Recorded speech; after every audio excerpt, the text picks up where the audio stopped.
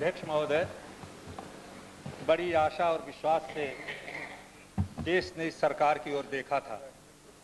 और ये कहने में मुझे कोई संकोच नहीं कि मैंने भी ये समझा था कि आज के प्रधानमंत्री जी आए हैं, माहौल बदलेगा, काम करी, करने का तरीका बदलेगा। इस आधार पर था, बरसों से उनको जानता हूँ, राष्ट्रीय आंदोलन में उन्होंने हिस्सा लिया था।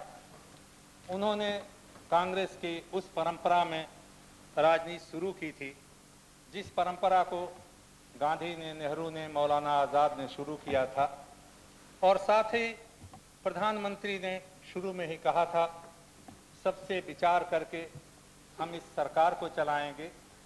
देश में समस्याएँ जटिल हैं, उन जटिल समस्याओं के समाधान के लिए सबसे सलाह लेंगे, बातचीत का रास्ता अपनाएँगे। ये आज मैं नहीं कह रहा हूँ, अध्यक्ष जी चाहे मैं चंद दिनों के लिए सरकार में रहा हूँ, हमारे कुछ मित्रों के हिसाब से वही मेरे सबसे बड़े पाप के दिन थे। लेकिन उन दिनों को का मैं ज़िक्र नहीं करना चाहता, क्योंकि उन दिनों का ज़िक्र करना बड़ा दुखद होगा। सारी उत्तेजना के बावजूद भी मैं अपने पर आत्मनियंत्रण रखना ही सही समझता हूँ, मैंने सोचा इस पर। और मेरे गुरुदेव अटल जी ने भी कहा, माहौल जब गर्म है तो गर्म माहौल में और गर्मी लाने की ज़रूरत नहीं है। मैं समझता हूँ कि गर्मी लाने की कोई ज़रूरत नहीं है। लेकिन मुझे अत्यंत दुख के साथ ये कहना पड़ता है, मैं नहीं जानता देश का मोह भंग हुआ या नहीं। मैं नहीं जानता अन्य सदस्यों का मोह भंग हुआ या नहीं। लेकिन मैं इस अविश्वास के प्रस्ताव का समर्थन इसलिए कर रहा हूँ कि हर मुद्दे पर इस सरकार से मेरे जैसे व्यक्ति का मोह भंग हो चुका है और मैं इस अविश्वास के प्रस्ताव का इसलिए समर्थन कर रहा हूँ। प्रारंभिक दिनों की याद मैं दिलाता हूँ, जब हमारे प्रधानमंत्री ने शपथ नहीं ली थी। अभी हमारे मित्र संतोष मोहन देव ने बड़ी कृपा पूर्वक कहा, मैंने आसाम में एक सही निर्णय लिया, लेकिन शायद वो भूल गए। मैंने केवल आसाम में वो निर्णय नहीं लिया था, यही निर्णय हमने पंजाब के लिए भी लिया था। और हमने कहा था, दोनों जगह चुनाव होना चाहिए। सबसे बातचीत करके मैंने कहा था, मैं नहीं जानता किसकी सलाह पर। अध्यक्ष महोदय मैं ज़िक्र नहीं करता, लेकिन इतिहास में एक ऐसी एक घटना है, जिसके बारे में अगर मैं कुछ न कहूँ तो मैं अपने कर्तव्य से चित होऊँगा। उस समय के राष्ट्रपति, आज भी राष्ट्रपति हैं। उन्होंने कहा, पंजाब और आसाम में चुनाव नहीं किए जाने चाहिए, और खुले तौर पर कांग्रेस पार्टी ने उसका समर्थन किया। हमने उस बात को माना नहीं। हमने कहा, नहीं, स्थिति ऐसी है कि आसाम, पंजाब दोनों में चुनाव हो सकता है।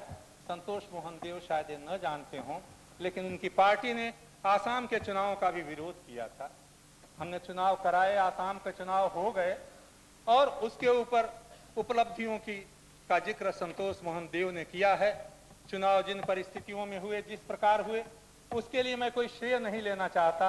लेकिन अध्यक्ष महोदय, बड़ी विनम्रता से मैं संतोष मोहन देव जी से याद दिलाना चाहता हूँ, क्योंकि वो संचल से आते हैं। वहाँ की हालत को जानते हैं। चुनाव में आप चुनाव जीत गए।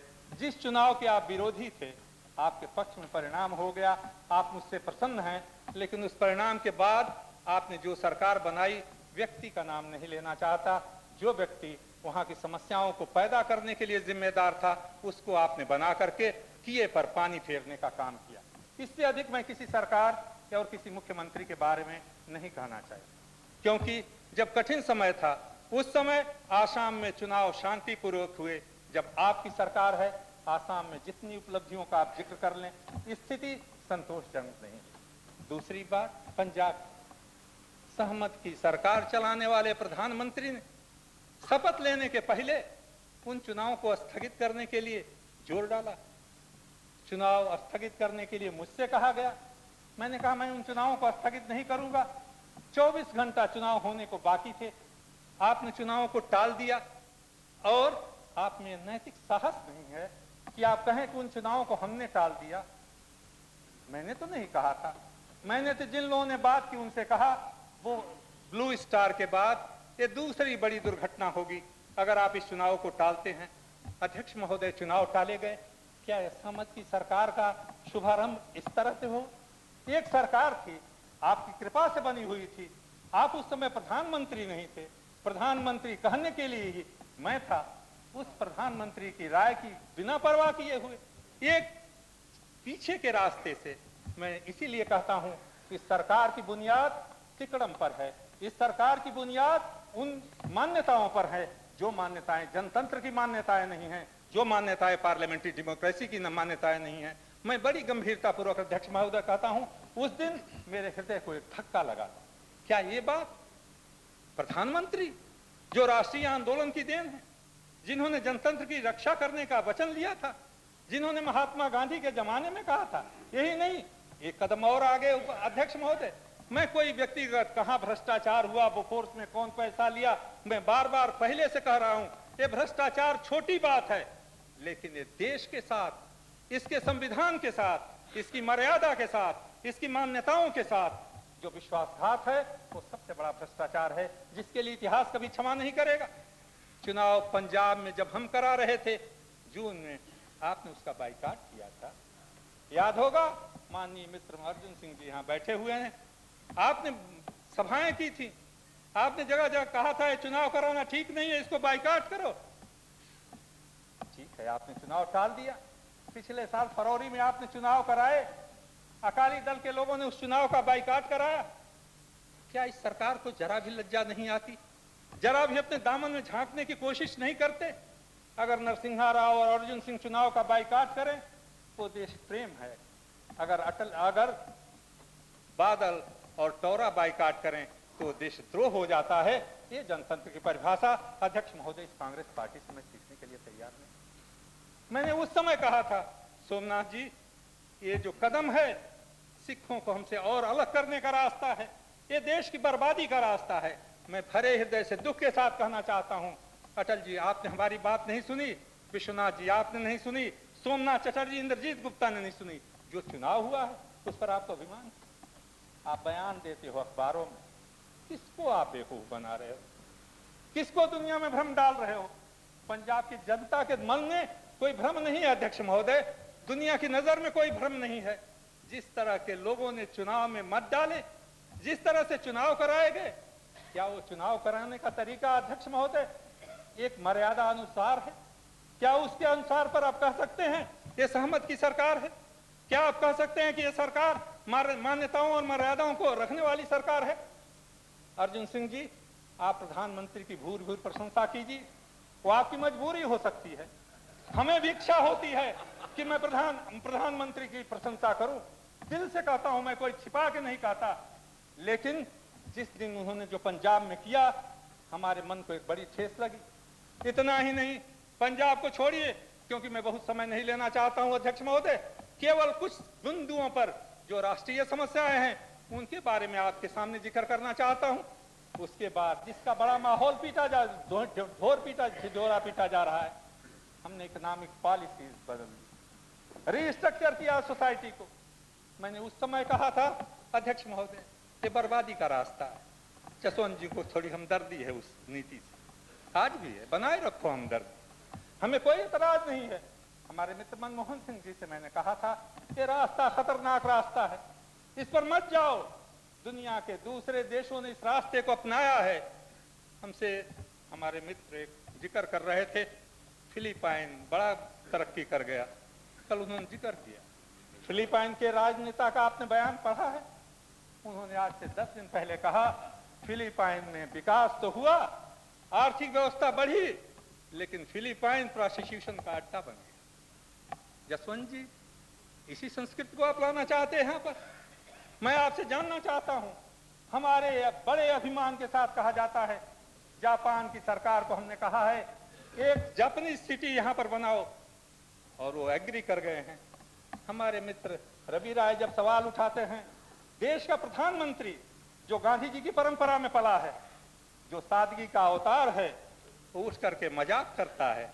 मुझे याद आते हैं सोमनाथ जी वो दिन, अरवलों में। अरविंद के आश्रम में एक ऐसी ही कॉलोनी बन रही थी, एक देश की नहीं, इसी संसद में कितना हंगामा मचा था, उठा करके पढ़ लीजिए आप। हमारी मान्यताएँ कितनी गिर गई। हमारे सोचने का तरीका क्या हो गया?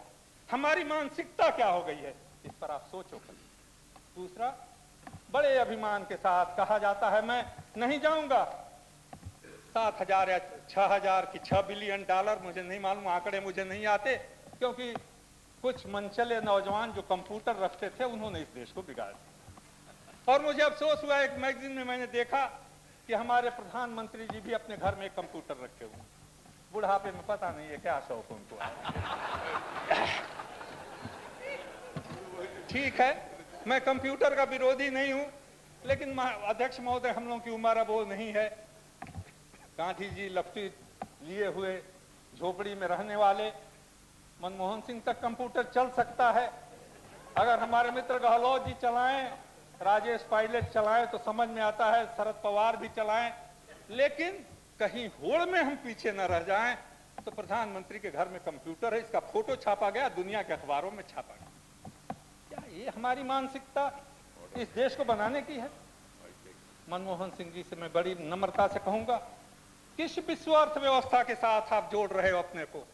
जसवंत जी, आपसे मैं कहूँगा, अपने दिल पर हाथ रख करके पूछो, क्या वो विश्व अर्थव्यवस्था अपने व्यापार को बढ़ाने के लिए दुनिया में संघर्ष नहीं कराती?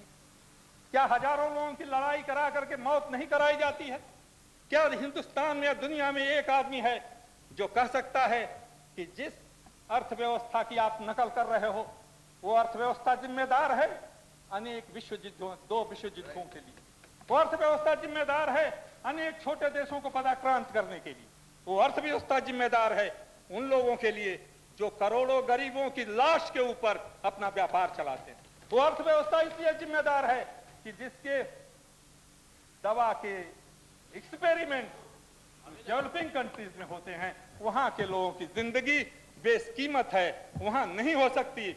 और उसी अर्थव्यवस्था का एक नज़ारा विडंबना, कितनी आत्म प्रवंचना जो अमेरिकी अर्थव्यवस्था अध्यक्ष महोदय अपने कुछ छोटे से काले लोगों की समस्या को हल नहीं कर सकी, उनको मर्यादा की ज़िंदगी नहीं दी सकी, वो हमारे करोड़ों गरीबों को मर्यादा की ज़िंदगी देगी। अर्थव्यवस्था आंकड़ों से मत सिद्ध करो। आज हमारे कितनी कीमत बढ़ गई, कितनी घट गई, जसवंत जी भी बोल रहे थे। मैं आपसे पूछता हूँ, विश्वनाथ की निकम्मी सरकार थी, चंद्रशेखर की निकम्मी सरकार थी, आपकी उजागर सरकार पिछले साल जून में जब आपने हुकूमत ली थी, उस समय गरीब को जिस भाव पर आवश्यकता की चीज़ें मिलती थी परसेंटेज में मत बोलो स्टेटिस्टिक में मत बोलो, आटे का भाव क्या था, चावल का भाव क्या था, तेल का भाव क्या था, ये बोलो। ये बोलो, सीधे बोलो, कि उसको कीमत मिलती थी कि नहीं? ये आंकड़ों पर दुनिया को भ्रम में डालने की साजिश करने वाली सरकार इस भारत के गरीबों की सरकार नहीं होती और इसीलिए मैंने उस दिन कहा था, जब बजट आया, बड़ी प्रशंसा इस तरफ़ से हुई। हमारे वित्त मंत्री ने बहुत चालाकी से तीन फ़ीसदी के लिए बचत किया है। संतानवे फ़ीसदी लोग उनकी नज़रों में है नहीं। कहा गए? स्वर्णिम हाथ मिलाने वाले। चालीस वर्ष की उम्र में सोमनाथ जी, आपने कहा पैसा दे दो, घर चले जाओ। वो भी आदमी है। वो कंप्यूटर नहीं है, वो मशीन नहीं है। चालीस वर्ष की उम्र में जिसको घर भेज दो कोई काम नहीं होगा, वो आपको आसानी से छोड़ेगा नहीं। लेकिन अध्यक्ष महोदय, मुझे इन पर गुस्सा नहीं आता, इन पर तरस आता। मुझे इतिहास की एक गाथा याद एक घटना याद आती है। फ्रांस में एक बार राज परिवर्तन हुआ। एक बाल काटने वाला भी उसने आगे बढ़ गया, नेता हो गया। थोड़े बार प्रतिक्रांति हुई तो गिरफ़्तार हो और उसको जब जेल में ले गए उसको फांसी की सजा हो गई। तो लोगों ने अखबार के लोगों ने पूछा कैसा लग रहा है? तो उसने एक सेंटेंस कहा था मनमोहन सिंह जी याद रखिएगा had I known that the affairs of state are so complicated, I would have never dabbled with it. कहीं आपको यह न कहना पड़े। मुझे इसलिए इसलिए मैं आपसे कहना चाहता हूँ कि मुस्कुराहट जो हज़ारों करोड़ों की मुस्कुराहट छीनने के लिए जिम्मेदार है, एक दिन आँसू में बदले बिना नहीं रहे। इसलिए मैं आपसे कहना चाहता हूँ कि करोड़ों गरीबों की मुर्दनगी के ऊपर चलाने वाली अर्थनीति, हमें समझा रहे हो? उस विश्व अर्थनीति से जोड़ने की जो विश्व नीति, जो विश्व अर्थनीति, शोषण पर, दोहन पर, आदमी की मौत पर दुनिया में संघर्ष के रास्ते पर ले जाने वाली है, हमें उससे नहीं चाहिए हमारे देश में हम गरीबी का बड़ा उसको उजागर नहीं करते। स्वदेशी और स्वावलंबन अपने दायरे के अंदर की रहने वाली बात थी। अध्यक्ष महोदय, जिस देश की धरती ने महात्मा गांधी पैदा किया, जिसने दुनिया को स्वावलंबन, स्वदेशी मितव्यता और सादगी का नारा दिया, उसी देश का मुख्य वित्त मंत्री कहता है, स्वदेशी और स्वावलंबन का नारा आत्म प्रवंचन है। राजनीतिक धूम। मैं इस बात को नहीं कहना चाहते, कोई शेम वहाँ नहीं होती। लज्जा शब्द उनके शब्द को उससे निकल चुका। इसलिए उस लज्जा के शब्द को इस्तेमाल करने का कोई अर्थ नहीं रह गया, श्रीमान। मैं उस पॉलिसी के बारे में और नहीं कहूँ। समय आएँगे, जब वो खुद बोलने लगेंगे उस पॉलिसी के बारे में कि वो गरीब बोलेगा, उसकी भूख बोलेगी, उसकी पीड़ा बोलेगी, उसका दर्द बोलेगी। उसके बाद मैं इतना ही कह के छोड़ देता। एक और घटना हुई। हमारे देश का विदेश मंत्री डाबोस में जाता है। एक कागज़ देता है। मुझे कोई एतराज़ नहीं। मैं बोफोर्स के बारे में कभी भी नहीं बोला। जब विरोध में था, सरकार में था, किसी भी समय। लेकिन कांग्रेस के मित्रों से मैं कहना चाहता हूँ, विदेश मंत्री एक कागज़ देता है, दूसरे विदेश मंत्री को। कहा जाता था, कोई वकील है? था, वकील था। दे दिया। उनको याद नहीं है कौन वकील। जसवंत सिंह ने कुछ पैराग्राफ सुनाए। लेकिन उसकी ज़रूरत नहीं है, अध्यक्ष महोदय। दुनिया में आजकल जो आतंकवाद की हालत है, कहीं भी विश्व के राजनेता इकट्ठा हो, एक एक कदम पर, एक एक इंटेलिजेंस का आदमी बैठा रहता है। कोई वकील घुस जाएगा वहाँ पर। और यही नहीं, अर्जुन सिंह जी, आपसे मैं बहुत निवेदन करूँगा, अध्यक्ष महोदय, आपके ज़रिए ये कलेक्टिव रिस्पॉन्सिबिलिटी की गवर्नमेंट सामूहिक उत्तरदायित्व की गवर्नमेंट है। अखबारों में खबर आती है और प्रधानमंत्री अखबारों में कहते हैं, इस खत से हमारा कोई मतलब नहीं है। और उनका इस्तीफा होता है। जब इधर से शोर मचता है, प्रधानमंत्री नहीं आते हैं इस्तीफे का बयान देने के लिए। हमारे नौजवान मित्र गुलाम नबी आज़ाद कहते हैं, वो शब्द आज भी मेरे कानों में गूंज रहा है कि सुना है, विदेश मंत्री ने त्याग पत्र दे दिया और प्रधानमंत्री ने उसको स्वीकार कर लिया। अध्यक्ष महोदय जो प्रधानमंत्री अपने विदेश मंत्री के सम्मान की रक्षा नहीं कर सकता, उस प्रधानमंत्री के हाथों में देश के सम्मान कभी सुरक्षित नहीं। ये कोई व्यक्ति का सवाल नहीं है, ये संस्थाओं का सवाल है, ये मर्यादाओं का सवाल है, ये नियमों का सवाल है, ये परंपराओं का सवाल। मुझे कुछ लेना देना नहीं माधव सिंह सोलंकी वही हालत हमारे दूसरे मित्र की हुई, जो कल बोल रहे थे, उनके बारे में मैं कुछ कहूँगा नहीं। पता नहीं किंतु की और होगी, मुझे नहीं मालूम। हमारा उनसे विरोध हो, दोस्ती हो सवाल नहीं है। लेकिन क्या कभी देश में ऐसा हुआ है? एक कैबिनेट स्तर का मंत्री इस्तीफा दे, प्रधानमंत्री यहाँ आके बोले भी नहीं। एक शब्द तो कह देते बड़े अच्छे थे, गलती हो गई, गलतफहमी में काम हो गई। मैं बता रहा हूँ, किस तरह का आचरण है जिसकी प्रशस्त कर रहे थे हमारे माननीय मित्र अर्जुन सिंह जी, जिसकी प्रशंसा करते हुए हमारे मित्र संतोष मोहन देव थकते नहीं थे मैं उनके लिए बिना सम्मान के ऊपर छीका कसी किए हुए उनके कर्तव्यों की तालिका सूची आपके सामने रख रहा हूँ। जरा ठंडे दिल से इस पर सोचना। एक विरोध पक्ष क्या कहता है, विरोध पक्ष क्या नहीं कहता है, इस बात को छोड़ दी इसलिए दूसरा सवाल आया, क्या ये बैंकों का और शेयर का घोटाला हुआ? इसके बारे में मैं कुछ कहूँ? क्या इसके कहने की कोई ज़रूरत है? अध्यक्ष महोदय, मैं ये कहना चाहता हूँ अखबार में रोज नई नई खबर आती है। कल दूसरे सदन में सदस्यों ने कहा, जुलाई के महीने में पिछले साल खबर की घपड़ा हो रहा है। मुझे ये कहा जाता है, मैं सच हूँ, गलत हूँ, मुझे सही खबर है या नहीं? देश के राष्ट्रपति ने सरकार से पूछा कि शेयर घोटाले, शेयर इतने बढ़ रहे हैं, इस पर आपको क्या कहना है? सरकार के लोगों ने कहा, हमारी आर्थिक नीति की ये सफलता है। दुनिया के शेयर मार्केट से अलार्मिक शब्द आए। कहा गया, क्या हिंदुस्तान में हो रहा है? जापान के लोगों ने कहा, अमेरिका के लोगों ने कहा, रूस के लोगों ने नहीं कहा, इसलिए चिंता मत कीजिएगा। जिनके पद चिन्हों पर आप चल रहे हैं, उन्होंने कहा, मुझे ये कहा जाता है, रिज़र्व बैंक के गवर्नर ने महीनों पहले कहा, दो महीने पहले शायद कहा, मुझे कुछ लोगों के खिलाफ कदम उठाने दीजिए। उन्हें कदम नहीं उठाने दिया गया। हमारे मित्र जसवंत सिन्हा को, सिंह को, उन पर बड़ा रोष है। उनको बचाया नहीं जा रहा है। अपने को बचाने के लिए उनके खिलाफ कदम उठाने की ताकत नहीं है इस हुकूमत में। इसलिए मैं बात कर रहा इन बातों का जवाब देना होगा इस सरकार को। इन बातों का जवाब देना होगा इस हुकूमत को।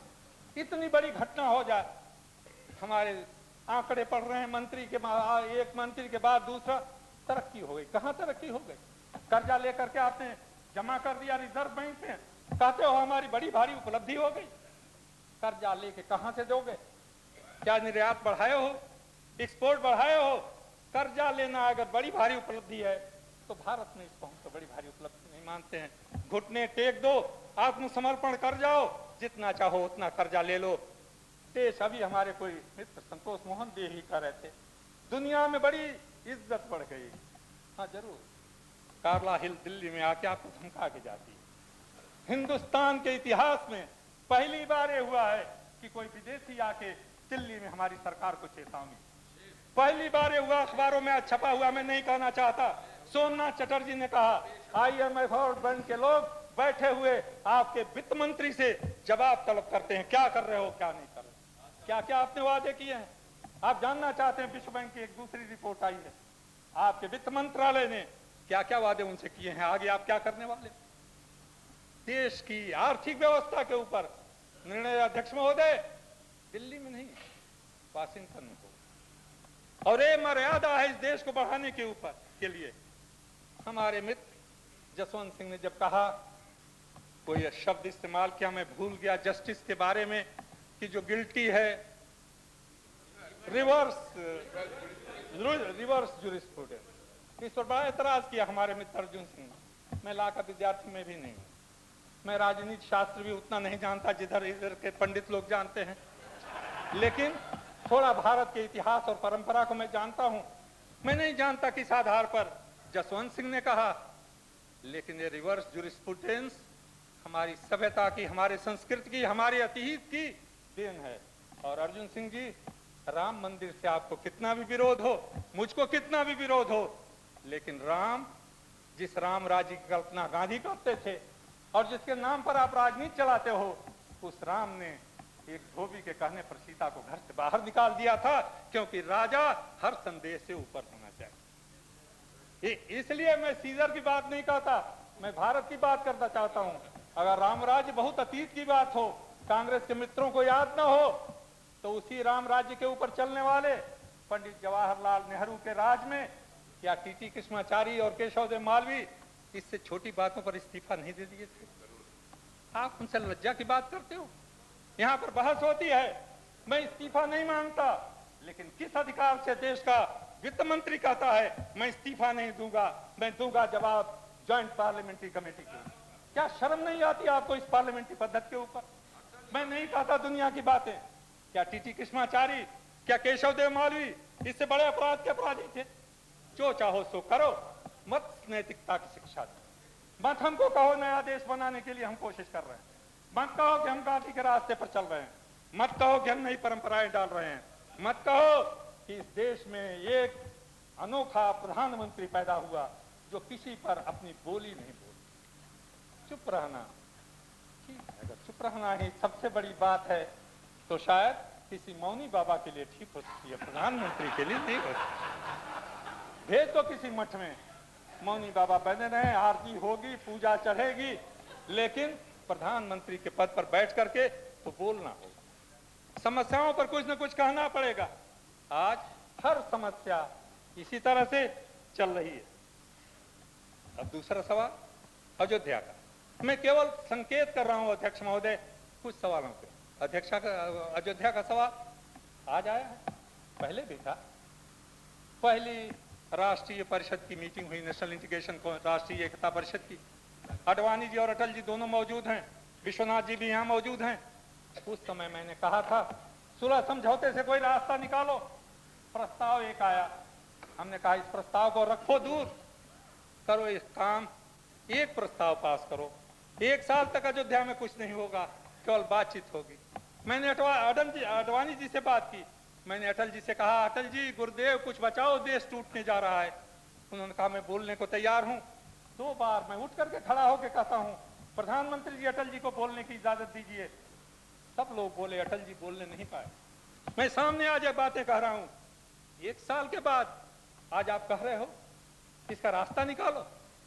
क्यों? अडवाणी जी से मैंने कहा, अडवाणी जी ने हमसे कहा, तुम ठीक कर रहे हो, लेकिन सरकार जिस रास्ते पर चल रही है, मैं क्या कर सकता तुमसे बात करना आसान था, इस सरकार से नहीं, ये प्रस्ताव ला रहे हैं। हमने कहा, अडवाणी जी, इसका क्या अर्थ है? मैंने कहा, प्रधानमंत्री जी, ये प्रस्ताव निरर्थक है। निरर्थक प्रस्ताव नेशनल इंटीग्रेशन काउंसिल में मत पर पास कीजिए। प्रधानमंत्री को एक ही बार मैंने तेईस में आते हुए देखा है। मैं हंस के रह गया। ये असहाय, हँसी कोई पुरुषार्थ की द्योतक नहीं ये पौरुष का प्रतीक नहीं है। चुप रह गए। एक साल तक बैठे रहे। अगर साधु और संत पूछते हैं, एक साल तक आपने क्यों कुछ नहीं किया? कोई है जवाब आपके पास? अर्जुन सिंह जी, कोई है जवाब आपके पास? आपने क्यों नहीं कदम उठाया? राम की अनेक व्याख्या है श्रीमान। राम सबके हैं। और राम को लोगों ने कई रूपों में देखा है। जाकी रही भावना जैसी हरि मूर्त देखी थी हमारे राम एक हो सकते हैं। अटल जी के राम एक हो सकते हैं। आपके राम दूसरे हो सकते हैं। यहाँ कटियार साहब और दीक्षित जी कौन कौन नेता उनके राम दूसरे हो सकते हैं। हमारे राम पुरुषोत्तम मर्यादा पुरुषोत्तम भगवान राम है। हमारे राम वो हैं जो हमने मैथिली शरण गुप्त ने हमको सिखाया। राम, तुम मानव हो, ईश्वर नहीं हो क्या? विश्व में रमे हुए सभी कहीं नहीं हो क्या?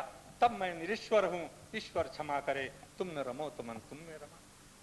लेकिन उस राम की उदात भावना को अभिव्यक्त करने वाले बीजेपी में बहुत से लोग हैं। मैं आज नहीं कर रहा हूँ बार बार कह रहा हूँ। क्या उनसे आपने कोई संपर्क किया? आपने उनको असहाय स्थिति में डाल दिया। आपने उनसे बात नहीं की। बाबरी मस्जिद के लोगों से आपने चर्चा नहीं की। हर समय दिन काटने की बात, वही मौनी बाबा की कहानी। ये मौनी बाबा की कहानी चलने वाली नहीं है। मैं मानता हूँ कुछ संत, कुछ महात्मा, जिनके मन में राम की दूसरी धारणा है, वो गलत रास्ते पर जा रहे हैं, मैं उसका विरोध करता हूँ। लेकिन सरकार के नाते आपकी भी कोई ज़िम्मेदारी होती है। इसीलिए कल मैं आपसे कह रहा था क्षमा कीजिएगा। अध्यक्ष महोदय, मैं अपने मित्र अर्जुन सिंह से कह रहा था, आपका, आपकी धर्मनिरपेक्षता मैं समझ सकता हूँ। आपकी सरकार और आपकी पार्टी की धर्मनिरपेक्षता मेरी समझ में नहीं आई। मैं आज भी ये कहता हूँ, अगर बाबरी मस्जिद का कोई ऐसा हल सम्मानजनक निकल सके, देश की मर्यादा बच सकेगी, देश की एकता बच सकेगी। मैं अपने मित्रों से दूसरी तरफ़ भी कह चुका हूँ, फिर कहता हूँ, याद रखो, बाबर आया था दस हज़ार लोगों को। राणा सांगा ऐसे लोग थे मैंने अपने मित्र मदन लाल खुराना से कहा, भाई, तुम्हारे जैसे बहादुर नहीं होंगे तो कुछ बहादुर तो उस समय भी थे जिन्होंने उसका विरोध किया होगा। उनमें पुरुषार्थ पराक्रम पौरुष कम रहा हो, लेकिन फिर भी तुम्हारे हिसाब से मंदिर टूट गया। तो आज किन परिस्थितियों में टूटा, क्यों टूटा? लोग एक दूसरे से अलग हो गए थे, बिखर गए थे। आज हिंदू मुसलमान का सवाल नहीं है, इस राष्ट्र की एकता का सवाल है। बारह, तेरह करोड़ लोग जो हमारे देश में जिनके जज्बात, जिनकी भावनाएँ उस मस्जिद से जुड़ी हुई हैं, उनको अलग करके आप क्या देश को एक रख सकोगे? क्या देश की प्रभुसत्ता को बचा सकोगे? मैं उस दिन जब कह रहा था, हमारे कुछ नौजवान गुस्से में आए, मैं गुस्सा नहीं करता। मुझे दर्द के साथ, दुख के साथ कहता हूँ, उमा भारती जी ने एक स्लिप मुझको लिखा, आप हमारा उपहास करते हैं। मैंने कहा, उमा भारती जी, क्षमा कीजिएगा, मैं उपहास नहीं करता हूँ, आपकी बात को गंभीरता से लेता हूँ, इसीलिए हमारा दिल शंका से भर जाता है। आपने जो निश्चय किया है, अगर वो रास्ता चलता रहा तो हमें लगता है भयावह परिणाम होंगे। अगर न हो, मुझे प्रसन्नता होगी। लेकिन उस परिणाम को सोच करके मैं दुखी हो जाता हूँ, परेशान हो जाता हूँ, इसलिए अपनी बात को कहता हूँ। अध्यक्ष महोदय, उस पर भी सरकार का जो रवैया रहा है, मैं कौन सा इस्तेमाल करूँ? किसी सरकार का यह रवैया क्षम्य नहीं। बड़े जोरों से कहा जाता है, हम एक साल कुर्सी से बने रहे। कुर्सी पकड़े रहना आसान है, कुर्सी छोड़ना बड़ा मुश्किल है संतोष मोहन और जनतंत्र में कुर्सी पकड़ लेना बड़ी बात नहीं है। मौका आने पर अगर मर्यादा का सवाल हो, देश की राजनीति की संसदीय परंपरा की तो कुर्सी को छोड़ देना, ये बड़ा भारी मर्यादा पुरुषार्थ की बात। चिपके रहो कुर्सी पर, अखबारों में लिखता रहे। रोज कहे, दस मिनिस्टर हैं इसमें, बारह मिनिस्टर हैं। सब देखते रहते हैं, कल हमारा नाम तो नहीं आ जाएगा। ये मर्यादा नहीं। क्या कैबिनेट के मिनिस्टर खड़े होकर के जाके अपने प्रधानमंत्री से नहीं पूछ सकते? क्यों नहीं इसका फैसला कर देते हो आज और कल? जहाँ देश की कैबिनेट के एक दो नहीं, दर्जन मिनिस्टरों के ऊपर उंगली रोज उठाई जाती हो और देश का प्रधानमंत्री चुप हो।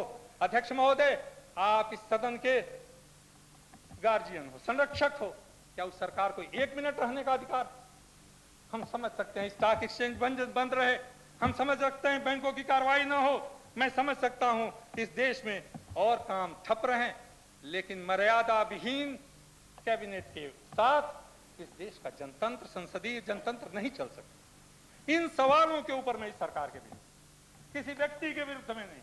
ये सवाल, जो बुनियादी सवाल है, श्रीमान, मैं आपसे कहना चाहूँगा, आज भी समय है। मैं नहीं जानता, वो कहते हैं, हम फिर जीत जाएँगे। संतोष मोहन देखे, जीत जाइए। जीते हुए तो थे ही। साल भर तो सरकार चलाए हो। क्या इतिहास में लिखा जाएगा? क्या आपने किया? पंजाब, कश्मीर, आसाम, दूसरी जगहों पर एक जगह नहीं, अनेक जगह लोगों की मौत के लिए जिम्मेदार आप। लोगों की बर्बादी के लिए जिम्मेदार आप। समाज को तोड़ने के लिए आप जिम्मेदार आप हमसे कहते हो, आखिरकार चार महीने की सरकार, चौवन लोगों के समर्थन की सरकार, जिसमें आप हर समय दड़ंगा लगाने की कोशिश करते थे। अगर वो सरकार विश्व हिंदू परिषद और बाबरी मस्जिद को बैठा सकती थी। तो आज की ये सबल, प्रबल सरकार, जिसकी शान और शौकत के सामने दुनिया घुटने टेक रही है, ये काम क्यों नहीं कर दुनिया में मर्यादा आपकी बढ़ रही है, अपने देश में एक छोटा सा काम आप नहीं कर सके। मैं नहीं कह सकता दुनिया के और देशों से आपके रिश्ते क्या हैं। वाशिंगटन के सड़कों पर चप्पल चटकाते हुए, सूट बूट पहने हुए हमारे मंत्री भिखारी की हैसियत से घूम रहे हैं इस पर आप बड़ी अभिमान की बात हो। करो अभिमान। सोवियत यूनियन में फेल हो गया। मार्क्स पढ़ रहे हो। मार्क्स को कभी समझा है मार्क्स सरकार नहीं बनाया था। मार्क्स ने मानव जब, मानव अभि, भावनाओं की अभिव्यक्ति की थी।